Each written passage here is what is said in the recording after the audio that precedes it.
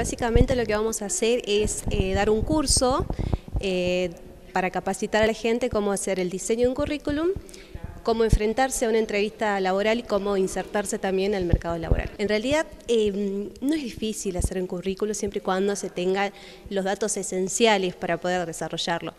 Em, lo, esencial, lo que debe tener siempre es la información académica, eh, la experiencia laboral, eh, los datos de contactos y bueno, uno que otro detalle como ser la foto del currículum, eh, algún documento que, aporte como ser un título secundario, un título universitario.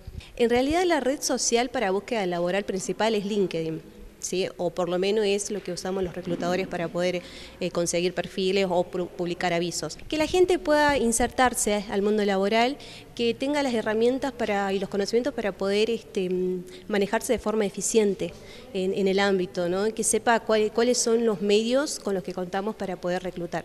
Eh, sabemos que muchas mujeres no tienen eh, las herramientas para poder elaborar un currículum, un currículum, cómo presentarse, cómo armar, saber eh, poder cargar en ese currículum o los nervios que se presentan a la hora de esa primera entrevista laboral o quizá la segunda o esos nervios que atravesamos todos cuando tenemos una entrevista laboral.